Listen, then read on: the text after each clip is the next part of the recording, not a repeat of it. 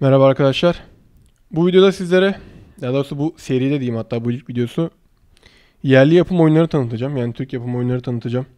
Ya da yapımında Türklerin de katkısının çok olduğu oyunları tanıtacağım. Ee, ilk oyunumuzla başlayalım. Artık Camel Game Studio'nun yaptığı Ottomania isimli oyunu tanıtacağım. Bu arada Arctic Camel diye saçma sapan bir telaffuz yapmışım. Ark, Arctic Camel Game Studio'daki e, biraz ben araştırdım. 6 kişilik bir ekip 6 ay boyunca uğraşmışlar ve bana göre gra- grafikleri gayet güzel, temiz. Şu an ilk bakış olarak zaten oyun oynamadığımı fark edeceksiniz. Güzel bir oyun tasarlamışlar. Şimdi ilk daha girerken şöyle atladım ben. Mesela şu tahtaya falan basıyor insan oyna butonunu görünce. İlla şu harfin üstüne dokunmanız gerekiyor. O garibime gitti. Ee, başlayalım. Osman Bey ile başlıyoruz. Tabii Osmanlı'nın kurucusu. Ondan sonra Fatih Sultan, Kanuni Sultan Selim zaten geri kalanında çöküş oluyordu. Oyuna bu şekilde başladık. Genç kumandan diyor. Osmanlı ordularını yönetme şerefine nail oldun. Şimdi senin işlerin nasıl yürüdüğünü gösteren bir talim yapalım diyor. Ve oyuna başlıyoruz. Şu an biz ilk talimi atladık. Yani mantıken ki siz de zaten indirip oynarsınız.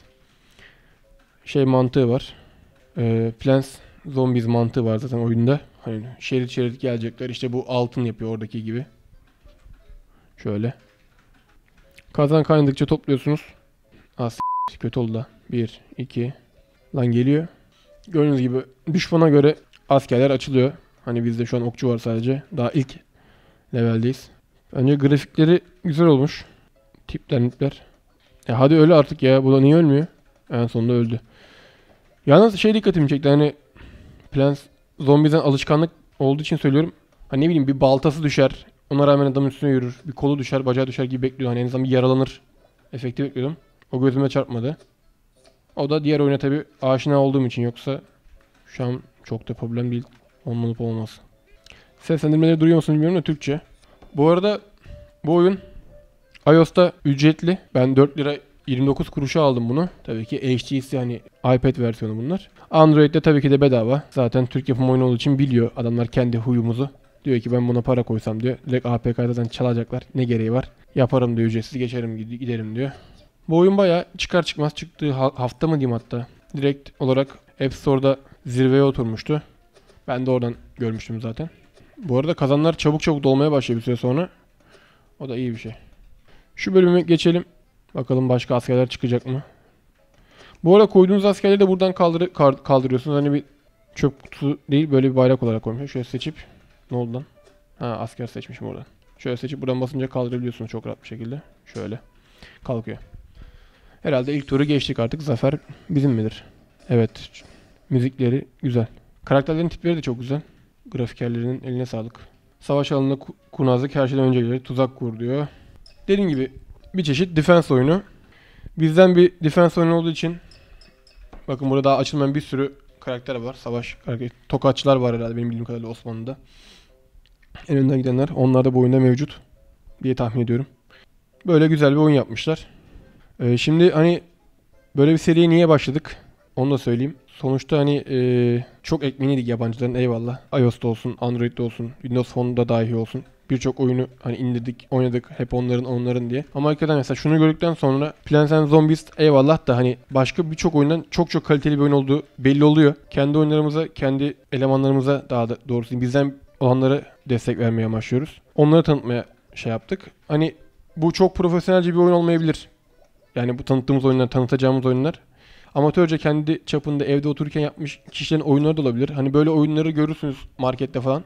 Hani dediğim gibi çok az bir indirmeye sahip olabilir ama sizin gözünüzden kaçmamıştır. Benim gözümden kaçmış olabilir. Onu da mesela bu yerli yapım oyunların videoların altına yorum olarak yazabilirsiniz. Ben onları okuyorum çünkü YouTube kanalımızdan. Ya da izlesene kanalımızdan. Herhangi birine. Ben bunu buraya koyarım arkadaş. İyi bari. Tuzağın da bir süresi var herhalde ya. O değil ben tuzağı kuramadan. Tuzağı ben şuraya bir yere kurayım ya. Tuzağı kurduk bir tuzağa gelmeden şunu bir temizleyelim bakalım tuzak ne işe yarıyor. Onu da bir görelim. Şöyle bakalım geliyor tuzağa doğru. Evet gözüne girdi resmen. Ee, şöyle gerçi alttan girip Mancini kovmuşlar lan. İto, gitti Mancini gitti. Bu arada Mancini kovdu. Bu arada şu zırhlılar geldi. Ben bunlara hazırlıklı değildim. Vallahi dağıta dağıta gidiyorlar. Ha, işte Kazan, bari kazan üstüne falan dökülsün ya. Vay eşek herif. Üst tarafta kaybettik. Kend- Kontrolü kaybettim ya bir şey anlatacağım diye. Evet bakalım buradan böyle bir bahçe makası şeyi çimçi makinesi gelecek mi tabi. Evet kaybettin. Bir tane bile geçiyor. Hani oradan geçiyor demek ki öyle zannettiğimiz oyuna benzemiyormuş. Neyse arkadaşlar dediğim gibi hani Türk yapımcılara herkesin destek olması lazım. En başta bizim. Öyle bir karar aldım ben kendi kendime. O yüzden de her hafta bir tane amatörce olur, profesyonelce olur hiç fark etmez. Her hafta bir tane yerli yapım bir oyunu inceleyeceğim. Siz de hani gö- oyunları gördükçe telefonunuza bir indirir kurarsınız, bakarsınız, oynarsınız. En azından bir haberiniz olur. Bir şekilde onlara destek vermiş olursunuz. Sonuçta iyisi de kötüsü de Türk oyun sektörü için önemli insanlar bunlar. Belki en başında, yolun başındadır. Çok çok iyi bir oyun yapacaktır. Hani o gün E3'ü hepimiz izledik gördük. Bizden de öyle oyunlar elbet bu şekilde doğar, doğacaktır yani. Bir yerden başlamaları lazım. Ben çok beğendim bu oyunu. Onu söyleyeyim en başta. Bir Twitter'dan bir atışmamız olmuştu kendileriyle. Üzdüm bizi yazmışlardı. Grafiği olsun, oynanışı olsun, zorluk seviyesi olsun gayet bence iyi bir oyun. Şahsen benim hoşuma gitti. Dediğim gibi hani birkaç tane update'e, upgrade'e daha doğrusu ihtiyaç duyar mı zamanla? Belki yeni karakterler, yeni map'ler, yeni hareketler ekleyeceklerdir. Ama şu an gayet başarılı. Dediğim gibi grafiklerin, grafikerlerinin de daha doğrusu eline sağlık. Ben gayet beğendim. Benim şurada görmüş olduğunuz YouTube adresinden takip edebilir. Twitter'dan bana abi bak mesela bu yerli yapım bir oyun. Türk bir eleman yapmış ama işte hani markette çok az indirime sahip gözükmüyor ya da benim gözümden kaçmıştır. Onların haberini verebilirsiniz.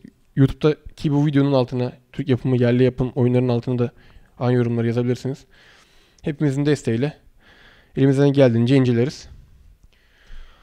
Bir videonun daha sonuna geldik arkadaşlar. Kendinize iyi bakın. Eyvallah. O değil de gemileri karadan yürütmek hakikaten iyi fikir ha.